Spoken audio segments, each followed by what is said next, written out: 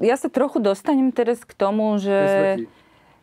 Áno, ale dostanem sa k nej zase cez jednu dôležitú tému, ktorú si teraz ty načal, a to je zbieranie.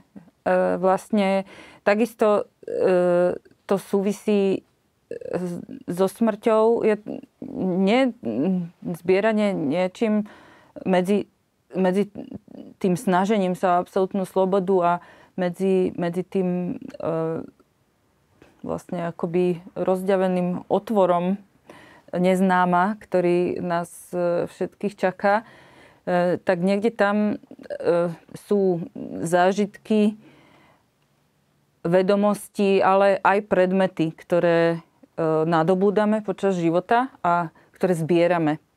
A mne vlastne príde, že to je strašne dôležité nielen to, čo tých objektov vytvoríš, Teraz by som rada povedala na kameru aj to, že topánky, ktoré mám teraz na sebe, sú súčasťou takej e, našej performačnej hry. Tiež patria vlastne k zozbieraným objektom Petra Kalmusa a, a sú určené na ďalšie spracovanie. na chvíľku? Teda topánky. Obidve? Hej, obidve potrebujem. Napríklad toto je, ale to som urobil, že tak, tak, takto keď to zošrubuješ, tak máš, máš toho akože žab alebo náhrdelník a tak ďalej. Jednoducho, jednoduchý ready, ready, ready made ala Dušamba alebo Menre a tak ďalej, hej. A nemusíš, do, alebo, alebo sa začnem s nimi radi, budem dotvárať, hej, s takými týmito, týmito, jak, jak je ten bicykel preexponovaný, hej.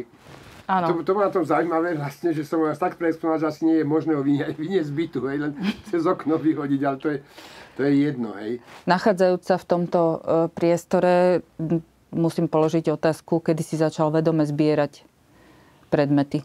Tak ono pra, práve potom, že je tu aj nejaký, e, sú tu nejaké predmety a sú tu aj predmety, ktoré by to nemali, nemali byť a ktoré by mo, mo, mo, mohli dať, dať na, na súd vedľajší. A, ale asi ťažko by ich našli. A teda predmety z detstva, nejaké hračky a tak ďalej, ktoré som si opatroval, bohužiaľ bohužiaľ časť, časť hračiek, takých tých e, krásnych, ktoré som si vážil, sa stratila, ako presťahujem do Košíc, ale e, už v tom košickom svete toho 9 chlapca, ktorý tam rozbíja, rebe, rebeluje a proste sa v tom meste cíti strašne, ako nerozumiem, nerozumiem, že to je maličké mesto, dedina, každého poznáš, proste tu chodíš v trenírkach od mája do septembra, si vy pri vode, na jedno sídlisko, pred tým sídliskom stavajú také kultúrne stredisko knižnicou, potravinami, väzni, normálne hore z tých strážia. A teraz nerozumieš tej reči, tam je veľa Maďarov, veľa všelijakých, tá decibula, čo ja, nič, ako deca, ne, vieš, nerozumieš tomu slangu.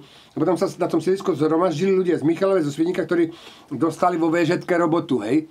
Ale, a tie deti tiež nevedeli, ja som rozprával, rozprával tak tvrdo, deti, ne, a to je od, od, od, od táto Spiščan. A, a tak ďalej a vlastne vlastne, ja to stále berem ako, že to boli také podvedomé, podvedomé a, a samozrejme človek, aby vynikol, tak začal zbierať, hej. Ale zase zberateľstvo má tú, tú nevýhodu, alebo tú výhodu u niekorých, to sa smejem z tých zberateľov našich, a nebudem menovať, ktorých poznáme, vieš, ktorí zbierajú aj koncept, mm-hmm. že vlastne je to od, vec peňazí, hej. Áno. Čiže keď, sa, keď som chcel získať, lebo sa predávali PNS v stánkoch, e, e, mnohí sa zaoberajú aj stánkami PNS, sa predávali také, že rôzne, za korunu, za dve a tak ďalej, známky, hej. A keď človek chcel vyniknúť, tak chcel mať takýto plný album známok a hlavne povedzme trojuholníky, ako, lebo systém zbierania je, je vo vytváranej reči Laubertovčina, hej, Otisovčina, hej. Ma, musí mať systém. No, v našej, áno, v našej slovenskej. Slovenskej, slovenskej, no, slovenskej, hej. To je ten problém, to, to vystihol zase krásne Frešo, keď mal geniálnu kapelu Solmen a vyhrali Beat Festival, práve hovorí, je to fantastický pocit, e, sme najlepší na Slovensku, e, Československu, pardon, ale vo svete hovno znamenáme, hej. Takže to, to je bohužiaľ realita nás vedcov, lekárov, vytvarníkov, no možno, že na malé výnimky, spisovateľov, básnikov a tak, a tak ďalej. A takže zase, zase človek je zlý, aby vynikol medzi tými staršími, ktorí majú známky, tak začal som brať košostvorce, alebo toto, alebo trojuholníky, to je jedno, alebo zvieratá, alebo motýle. Dokonca mám niekde zaarchivovanú, ktorú som postupne zbieral, celú, celú zbierku umenia Československo od, od roku vzniku až po 89. Všetky všetky umelecké diela mám v takomto jednom, ono, Úžasné. to ti môžem venovať, hej. Teda do galerie. Do galerie, a, do galerie. A do galerie. A teraz, teraz eh, človek zase bol svinia, že aby sa dostal k tým eh, celofánovým obalom, a ktorých boli známky, taký kartónik, tak, e, jak sa to povie slušne, otvoril maminu peňaženko, zobral 5 korún. A kúpil si 5, vieš, robil zlú vec, aby, aby vynikol medzi chlapcami, hej? Áno. Samozrejme, mama, sa ti stalo, že by ti deti zobrali z peňaženky? Nie, nie, nemáš to také? Neviem, ale ja, ja som to urobila, keď som bola malá. To boli také tie prvé, prvé zbierky, potom ma fascinovali oznaky. Dokonca, dokonca to je tiež rarita. Mám zbierku všetkých mojich preukazov. A v, keď sa bavíme o tom 68. roku, ktorý ma po, pozbudil, pozbudil hore otcom, ktorý ma potešil, pochválil a tak ďalej. A za, za všetko zlo, ktoré som robil, ma super, super, som bol taký istý a tak ďalej, tak ďalej, a tak ďalej, ja som rozbíjal okna a tak ďalej, ja som kradol a tak ďalej, a tak ďalej, takže všetko ma pochválil, ale v tom, v tom období som bol člen, to ti pošlem niekedy fotku, že ju mám niekde v mobile, člen Dobre. Zväzu dedinskej a polnospodárskej mládeže, základná organizácia Mickey Klub, klub zberateľov. Úžasné. A mám k tomu o- To by preukaz, sme potrebovali do archívu. mám k tomu preukaz a oznak sme si vydali, hej. Potom som prešiel na, potom som prešiel na oznaky. No a potom samozrejme, keď, e, e, keď už som mal ten svoj byť ateliér a keď vlastne povedzme tu mám nejakú, nejakú niečo so znakmi vytvorené a značiek a tak ďalej za, za tým gramorádiom. A potom keď človek už mal ten ateliér a už robil tie depozity a začal zbierať niečo vážne, povedzme, ale chcel som to mixovať tak, že áno, tak, tak tie známky si nechám z toho umenia. Povedzme, mal som krabicu lístkov e, tých kartonových, mm-hmm. kde som dal komplet, veľa vecí som dal Laubertovi, hej, že vlastne, čo, hovorím, Otis, koľko máš e, lístkov na vlak? Hovorí, asi 4 krabice. No, tak ti dám ešte jednu, budeš mať 5 ako, mm-hmm, vieš, ako áno. zase, lebo viem, že lístky... Lebo on, on, on, ale tak lístky- kvantitatívne. Lístky lakové alebo, alebo iné lístky zbiera, zbiera množstvo ľudí, hej. A teraz som si hovoril, že čo nezbiera nikto. Ale samozrejme, že som to mixoval, že aj to, čo niekto zbiera, aj čo nezbiera nikto. Tak povedzme, to mám, mám aj to je v zbierkach. Áno. Toto, chvála Bohu, toto je, toto na kameru nie, toto je, to sú stovky lekárskych receptov. No tak aspoň trochu to môžeme možno ukázať. O, o tom je, o tom, môžeme. o tom mám aj taký text, hej. No, takto uh, môžeš No to, hovoriť. to, to, to je prvé dielo, ktoré je kúpené vo vašej zbierke, a to je ako koláž ešte, hej. Áno. A teraz tu, hovorím, je to malá grafika autentická, lebo tu máš meno, rodné číslo, všetko je rodné číslo. Kde máš, lebo nevidím dobre na to. Je, musí tam byť niekde rodné číslo. Tak asi tam, kde sú tie chlieviky, ale... alebo nejak 28, no ne, ne, ne, ne, ne, ne, pozriem sa na to z druhej strany potom. A každý ten recept je taká mini grafika, lebo je, tu máš oné, diazepany a tak ďalej, všetko Áno, môže. je tam vlastne aj... Pečiatka lekára, Pečiatka, aj- podpis, aj dátum, povedzme to je 11. rok. A je to autentická grafika. Proste ja som si ten recept musel 3 hodiny odsedieť tej čakárni. Je to nie, že zavoláš, Ferko, prosím ťa, Mhm. vieš, to všetky, všetky tie recepty, ktoré prebehneš, Áno, sú to vlastne monotypie, tá pečiatka sa nikdy neotlačila rovnako. Áno, a teraz nikdy, e, okrem, okrem iného, okrem iného, je, je úžasné to, že už, e, aj keby niekto chcel, určite niekto má e, v koláži za recept, alebo jedálny listok, alebo niečo, tak jednoducho nemôže, nemôže urobiť toto, lebo skončili. Áno. Nie sú, jednoducho už nie sú recepty. Má nejaký lekár pre nejakého detka senilného, ale už, už všetko e, funguje telefonicky, hej. Dokonca tu sú ešte nejaký, neviem, aký to je rok. Teda čo skoro skončia úplne. Tohto roku končia definitívne recepty, hej. Tie- Tieto mil, mm-hmm. milé grafičky, no.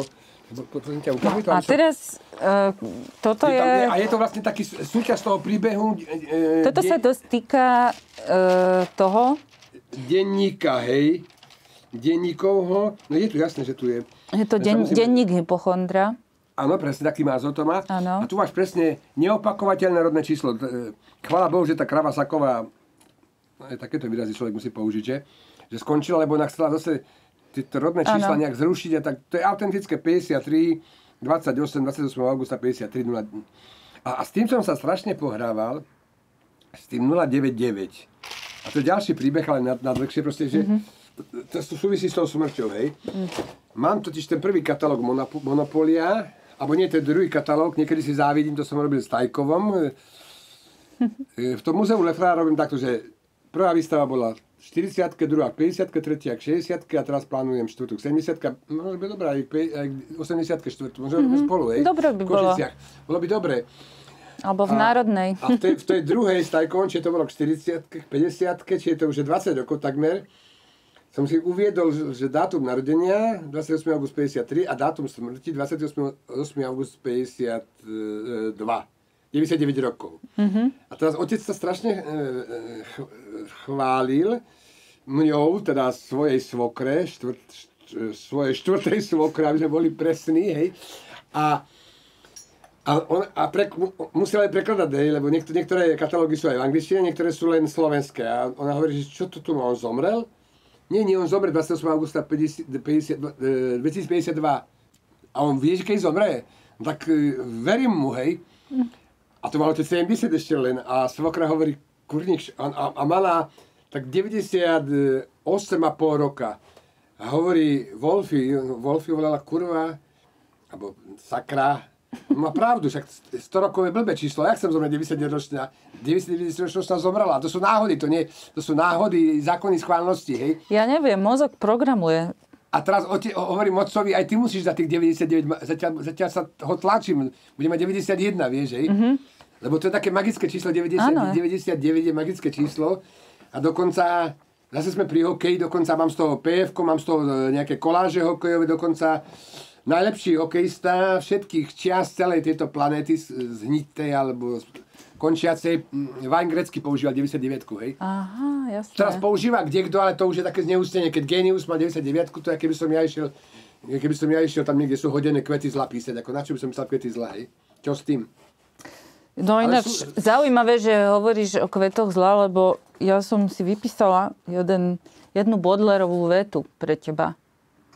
No, a poviem ti ju teraz, lebo ty, teraz sa hodí. Moje, ty povieš moje životné moto teraz. To, nie sme dohodnutí samozrejme. Nie sme dohodnutí, ale ja som si vypísala toto, že všetko sa pre mňa stáva alegóriou. Áno. A, je to a, a, a proste som si to nejak... E, lebo tu e, v tebe trochu vidím bodlerovskú postavu, do istej miery divokú, do veľkej miery aj melancholickú a, e, ale divocha mestského, e, nie divocha e, prírody, hôr a lesov.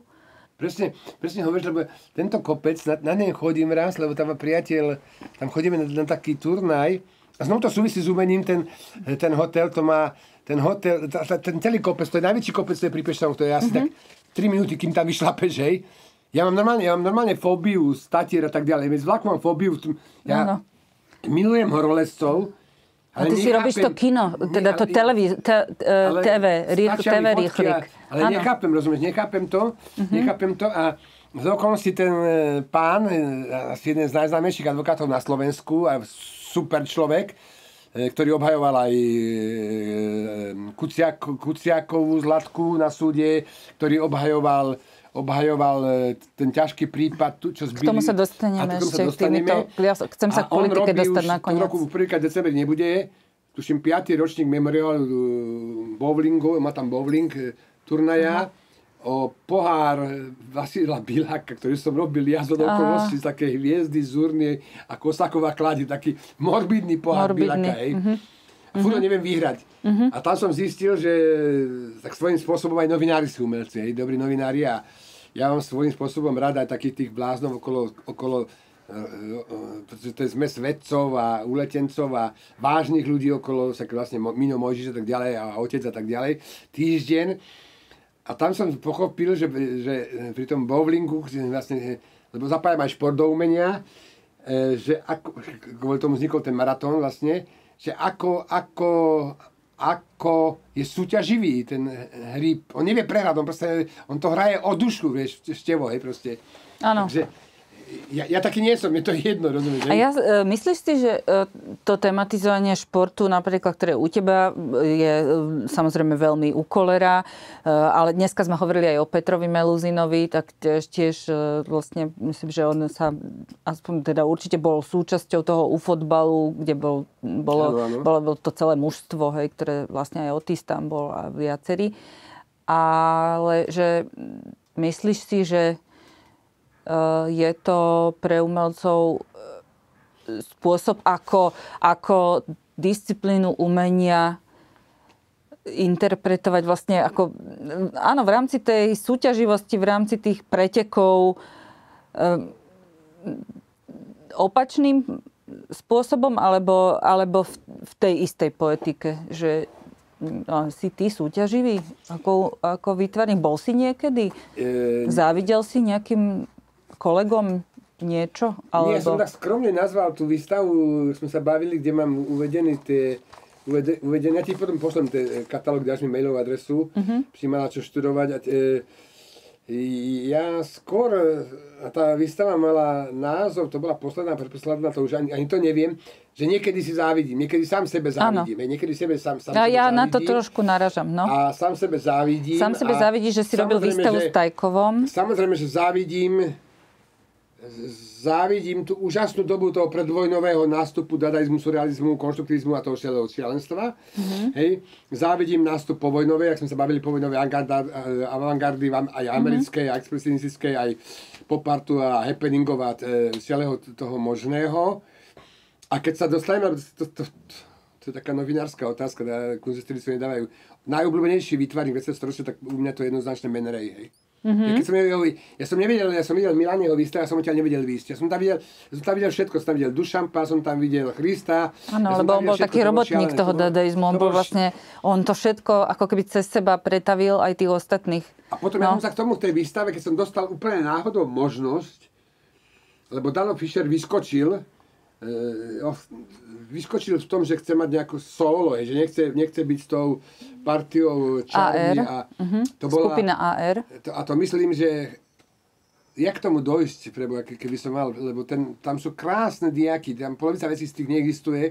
A mysl, ja som chcel toho Manreja, eh, pochopila to kolegyňa Pet, eh, Petra Hanáková, v tom mm, dome umenia, keď som vlastne tu výstavu nazval dielo, akože tam bolo dielo a vlastne tam som chcel vytvoriť ten trh, ten, to, to všetko možné, ten chaos, vlastne politicko, sportovo, kultúrny, taký neprehľadný, prehľadný, zberateľský, tam boli tie dózy, proste pamätáš tú výstavu? Áno, áno. Jak získate diváky, skúsa s Gabikou, ste kamošky s Klišovou? Lebo ten chlapík ich chce mm-hmm. predať, neviem koľko peniazí chce. Kršňák, Kršňák, e, zberateľ, keď sme o tom nechceli sme sa baviť konkrétne o menách, slúbil, že kúpi od neho diaky. No ale zrejme ten chlapík, Veľmi dobrý fotograf. A to by bolo ktorý... treba predtým naskenovať a to by sme mohli my urobiť. E, ten chlapík mm-hmm. asi mhm. chcel, e, ne, my si Kršňák predstavoval, že to dostane tak ako do, uh, ako dokumentáciu. Ako dokumentáciu Áno. a to nejde. To, proste to on fotil tam mm-hmm. dva dní a úžasné. A... No dobre, takže to sme takže podľa mňa akoby... Ja som chcel no. zhustiť vlastne, že to mi je blízke mm-hmm. a jeho životným príbehom, myslím, že išiel z Ameriky do Francúzska s tým, že aj písal, aj robil nejaké scenári, že vlastne, že vlastne žil tým, že on bol umenie. Mm-hmm, on, áno, umenie, prepájal umenie, to. Mm-hmm. A podľa mňa ovplyvnil e, šp, šp, spústu špičkových umelcov. Mm-hmm, mm-hmm. Takže, takže, no, takže to, to, to bol taký pokus, no škoda, že som nemal na to, na to celý dom umenia, ako keď hovorí, že si závidím. A škoda, že tá výstava trvala 3 týždne, to, vieš, to, to bolo týždeň inštalovania a deň, noc a potom rozumiem, za 3 týždne bal to, hej. Takže to bolo, to bolo toto. A k tomu športu vlastne ja minule som písal, lebo sa to písať sa a veľa, veľa textov takých autobiograficko-umelecko-politických vychádza taká, taká knižka, vyšla Udavactvo, to bola prvá, potom Hranice, múry a Solidarita a teraz sa pripravuje e, a teraz som v tej knižke poriadne uletel, lebo ani sám s ním neviem ísť a teraz e, vyjde e, buď toho roku alebo na budúci rok vyjde knižka s názvom, s názvom, s názvom Dôstojnosť. Hej, to slovo dokonca sa, myslím, ani v Biblii nevyskytuje. A ja som chcel písať, lebo som zažil 60 hodín pojednávania z očí do očí, chočné raz pol, keď tam som sedel. A tak to viem, to, to som... sme si o tom písali, že ty si to vlastne naozaj odsedel. To som si chystala ako keby nakoniec, písať, no ale môžeme teraz. No tak No. ako neviem rozprávať stručne, Áno, no, hej, rozprávam ale- to bytnickou rečou stále, tak vlastne začal som písať o tom, ale jak sa dostaneš do toho súdu, tak začal som, že som vlastne nebol v Pezinku, lebo som bol neviem kde, som nestihol ten festival, kde hral Dežo Ursini Varga, čo robil Snopko, hej. Takže som v živote nebol v Pezinku. Ale raz som do Pezinku mal ísť za kamošom. Čertové kolo sa to volalo. Ten festival. Za, áno, a mal som ísť do Pezinku za kamošom, ktorý Mhm. tam bol ako, sa volal Sajla, psychiatria, hej. A som začal- Sajla je čas Pezinka, kde je Pinelová nemocnica. To ale- doteraz tam to- je. e, Áno. Bol, tam bol Varga, Husin, každý. Áno. A potom začal som pátrať, a tak som začal písať, že čo je Pezin, keď to bolo mesto, že tam bola Sajla, tam chodili intelektuáli, umelci, blázni. Potom sa dostal tu kúsok odtiaľ, keď sme prešli kúsok cez ten most, býval, býval najlepší básnik slovenský, hej. Najlepší slovenský básnik. Teraz som veľký priateľ a mám, mám rada jej texty a internetové. Neviem, či ste kamoši Veronika Šikulová. E, na internete, no. Ona, on, na Facebooku, ona tak správne vie uletieť, že zahreši, dopiči, kokoti a tak ďalej.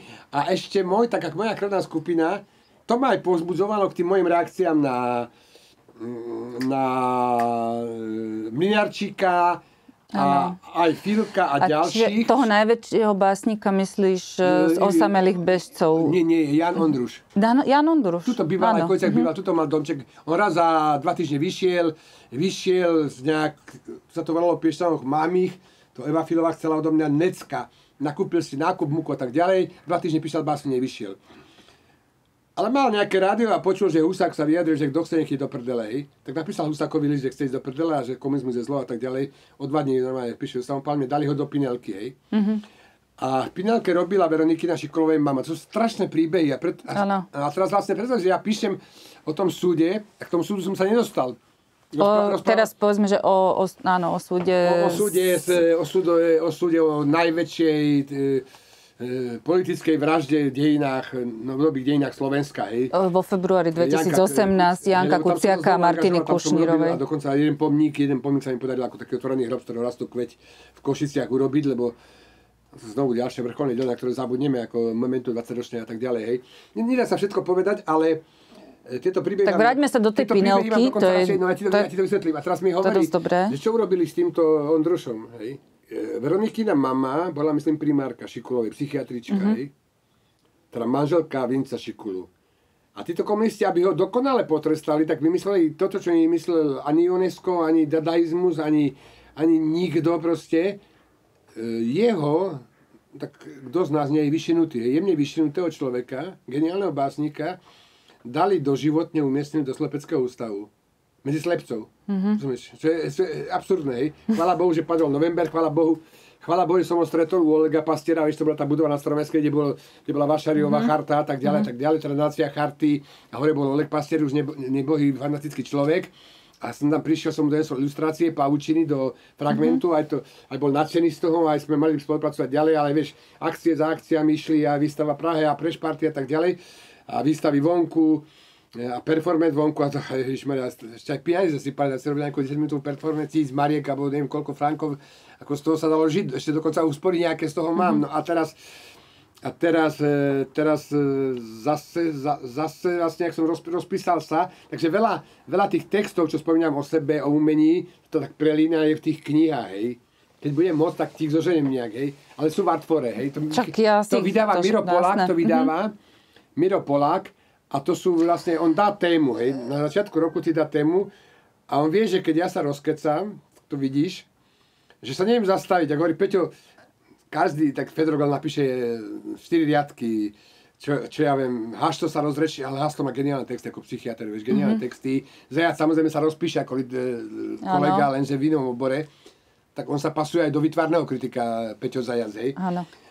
A hovorí, Áno, ty si riava, a ja ktorú musí uletím on 20, 20 strán, zastaviť. 30, vieš, akože 10 strán je taká norma, že už za to by sa nemalo ísť. Toho roku som, som tak, tak som uletel, že som napísal 75 strán a pokračujem tom ďalej. Mm-hmm. Hovorím, chvála Bohu, som ja stopol a už mi mesiac odkazuje, zavolaj mi. že, to sa ne, že jak to mám skrátiť, no ja, ja to neviem skrátiť, takže tak, e, tak, tak to, že veľa, veľa, A to je dobré, že o tom hovoríš, lebo vlastne keď si to pozrú že, že nejakí že ľudia, tak si vedia, vedia vlastne, mm, je to aj taká uputávka na, na tie tvoje knižky, môžu ano, si aj, na, aj na, na, na, to, že vlastne nie, le, nie všetko je v katalógu, lebo nie všetko je v zbierka galerie, niečo. Ide o to, že písanie umelcov je tiež taký veľmi špecifický žáner, ktorý aj rozprávanie umelcov je špecifický žáner, ale písanie e, umelcov o umení, čiže o tom, čo je primárne založené na záži, zážitku a na tom, čo je viditeľné, je e, napríklad ako veľmi e, ako špecifický druh literatúry, lebo e, tam sa spája to, čo sa aj teraz tu snažíme v tomto žánri rozhovoru, ale, ale, ale tam sa to spája tak, takým iným ponorným spôsobom, že, že vlastne ten, ten život a tvorba sa, sa akoby zrazu dostanú do nejakého uhla, kde, uh, kde vidíš celkom, celkom in, in, iný, inú súvislosť. Ako keby aj niekedy pre mňa aj ako iného človeka zrazu. Že, než toho, ktorého si predstavujem treba za takouto stenou jeho diel. Že, ja by som, vieš čo, e, keď si spomínal tie pavučiny, tak uh, musím to povedať, veľakrát som o tom rozmýšľala, že, lebo pre mňa, vidíš, že ti stále podsúvam takú, tak, také nejaké polarity. E, pre mňa si e, dosť človek taký, t- takých polarít, že e, aj vo, v tvojom vzťahu k pravde, spravodlivosti, k slobode, k smrti. Jednoducho, nie, že by sme si mohli myslieť, že nevnímaš život vo, vo všetkej pestrosti, ale jednoducho tie isté protiklady, naozaj to čierne, biele, áno, nie, e, pravda, lož, že e, slo, sloboda, nesloboda, e, vníma, vnímam ako, ako, ako také, také stále existujúce tvoje polarity. Vôbec, že, že si človek pre mňa, tak, si človek polarít. A jednou z takých polarít v tvorbe, čiže v tvorbe umelca Kalmusa, v tej intermediálnej tvorbe, by som povedala, teda nie výtvarnej, e, by e, bolo z mojej strany, e, keď by som dala vlastne na jednu stranu to, čo vzniká z objektov, ktoré zbieráš, a na druhej strane napríklad, napríklad to je úplný protipol, sú tie pavučiny, ktoré sú niečím veľmi efemérnym, sú to v podstate len vlákna a takisto ako tie objekty zaznamenávajú e, časovú stopu, len e, to robia vlastne úplne opačne, bez toho objektu. A e, niečím, praxou, ktorá pre mňa tieto dve polohy premostuje u teba, sú tie až by som povedala, akože meditatívne e, kresby, ktoré sú vlastne istým spôsobom e, e, asketické v zmysle, že si vytýčiš úlohu a že napríklad si spomínam na cyklus e, map Československa, ktoré, ktoré vlastne tie šrafúry idú čiar, čiara po čiare veľmi E, predpísaným, disciplinovaným a teda kontemplatívnym spôsobom. A či to takto nejako vnímaš aj ty, že na jednej strane e, to všetko a na, jednej, a na druhej to nič. Že či keď tvoríš, tak sa akože aj, či si to niekedy aj uvedomuješ, že, že sa pohybuješ v týchto dvoch. Áno, pre, presne keď, e, keď ešte pred kamienkovým projektom, keď začali paučiny, e, skončili. To je kedy? Povedzme e, to, to na 83, kameru. 83, 82, mm-hmm. keď som si uvedomil, že e, tento divoký spôsob života, krčmy, alkohol, bary, roková muzika, koncerty a tak ďalej je síce super, ale potrebuješ mať určitý rituál okrem, okrem biologických potrieb, aj tie sú individuálne, a tak som si vymyslel niečo, čo ma musí držať v, v realite. Nemôžeš proste uletieť do toho, že budeš... Ako je to možno, že dobre, ja som to ešte, ešte nezažil, lebo aj to LSD nám zakázali v 69. E, ako nezažil som ten svet, povedzme, toho Ondruša, alebo ten svet Lotremonta, alebo ten svet Bovníka, alebo tak ďalej. Nezažil som, ani som nemal chuť experimentovať že s, s ob, obrstením a s týmito orgazmami mm-hmm. a tak ďalej. To ma nelákalo. Už, už mi stačilo to, že vlastne E, stačilo tie alkoholické stavy a také nezodpovedné, že si dva dní není doma, manželka plače a nemáme telefon, tak som si musel vymysleť, čo budem robiť niečo denne. Hej. Povedzme, dve hodiny takto, hodinu takto. Mm-hmm. Čiže rituál. Tie, vznikli tie linky, potom vznikli tie perforované, lebo to bolo aj lacné, vlastne kúpiš, kúpiš si balík, ktoré boli veľmi lacné, akvarelové papiery a veľmi kvalitné, kúpiš si. Paradox tej doby bolo to, že si málo kto uvedomuje, že existovala predajná výtvarných fórieb, kde si mala mánesky, kde si mala papiere, dokonca ručné papiere a všetko možné. A tam to nepustili. To bola len pre členov Zväzu výtvarných umelcov. A keďže ja som ako, priga, e, ako stážoval, to bolo neskutočne, po, to môžeme, môžeme niekedy nahrať si e, sami dvaja rozhovor o mojom pôsobení, presne 9, 9 mesačnom presne, jak na sekundu presne, ako s Máriou Bartusovou. A aj s ňou som mal také konflikty jemné, lebo ona... A trošku keď, povedzme kľudne o Bartusovej, no. Ona, ona, keď, ona keď videla tie, ba, e, tie pavučiny, tak bola nadšená, bola... A teraz hovorí, Peter, na všetko zabudni a venuj, ona proste hľadala tú tému tej, tej, tých, týchto, e, tých, tej krehkej sádry, toho kličenia, pučenia áno, tak, tak, tak, tak ďalej a tak ďalej. Tak ona, ona to považovala ako e, svojím spôsobom tému, ktorú nikto nestvárňoval, paučiny, lebo hrdzov, hrdzov prstami robil aj Boys a kde kto. A, jej zase takéto extravagantné, alebo neviem, aké rokové, rock'n'rollové, psychedelické performance boli cudzie, ona bola veľmi kultivovaná. Ona, ona mala pár, pár výtvarníkov, Brankusiho, potom ten Noguši, alebo ten Japonec. Mm-hmm. Z českých výtvarníkov to, to bol Klímeš. Ona to, samozrejme aj tie, tieto ona bola introvertka, samotárka, neskutočne citlivá osoba, neskutočne, to som nezažil v živote, neskutočne citlivá. Robil som vlastne e, od vzniku, od tých prvých škíc až po realizáciu tej fontány, ktorá bohužiaľ nevyšla. A to málo, chvála Bohu, že to málo kto vie. Keď budeš tak ti ukážem, kde sú tam tie zásadné chyby na tej fontáne, mm-hmm. to klíčenie, viem, ten viem, bronz, viem, tak bola vyšla perfektne. A teraz samozrejme, že, samozrejme, že vlastne niekedy sedela a teraz, preto, som sa, preto som sa snažil hovoriť, že vlastne moje prostredie nie je toto prostredie. Moje mhm. prostredie mm-hmm. nie je. Moje prostredie je, poďme, keď v lete ležím, alebo som vo vlaku a kúkam, a to nazývam prírodné video včera. No včera, včera to nebolo prírodné video, lebo som bol v tom strese z tých peňazí a z toho bicykla. Mm-hmm. Ale v tom vlaku sa teničke sa uvoľním, dám si kávičku, minerálku, tam takú špecifickú, že jem nejaké čipsy paprikové a, t- a a tam chodia myšlenky, tam rozmýšľaš, tam si tie myšlenky fixuješ. Nie som o že by si napísal do diara, že toto spojiť s tamtým, alebo toto sa mm-hmm. dokončiť, alebo vrátiť sa k pavučinám, alebo dokončiť linkový biely súbor, hej, to nerobím. A tam je to, e, prostredie, alebo idem k váhu, a keď, keď som pre, prebudený tým nápad, myšlenkami, tak skočím do vody a plávem jednoducho a e, zneguješ to a zapamätáš si to podstatné alebo nepodstatné. Takže tak, tak, tak som si vysvetloval, vysvetloval Mári, že proste ja nie som ten typ, že by vedel jednu, dokonca som si kúpil, no, dá sa tomu hovoriť kúpiť nie, keď som mi ukradol z knižnice, hej, život pavúka, je dokonca fantastické veci, rôzne paučiny, pavúk dokáže, rok a pol dokáže hladovku, rozumieš, hej, no. dokáže no. rok a pol nie a tak ďalej a hneď sa ti dávajú do, do kopy takí tí, takí tí performery, e, povedzme, ktorých som miloval, obdivoval. A vieš, že Mirek Topinka, básnik český, robil knižku o pavúkoch, ktorá nakoniec nevyšla. To neviem, neviem, neviem. neviem. Áno, a na nej spolupracoval, alebo chcel spolupracovať s Janou Želipskou. To je taká vec, ktorá im nikdy nevyšla, ale vlastne ktorá ich tak ako spája. No.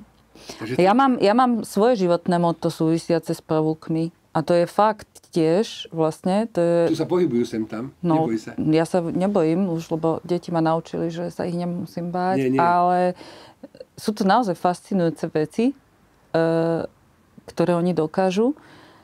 A moje teda životné moto, ktoré, ku ktorému ma inšpirovali pavúky, je, že vieš, čo urobí pavúk, keď mu zničia sieť? Začne robiť novú, nie? Ale najprv zje tú starú.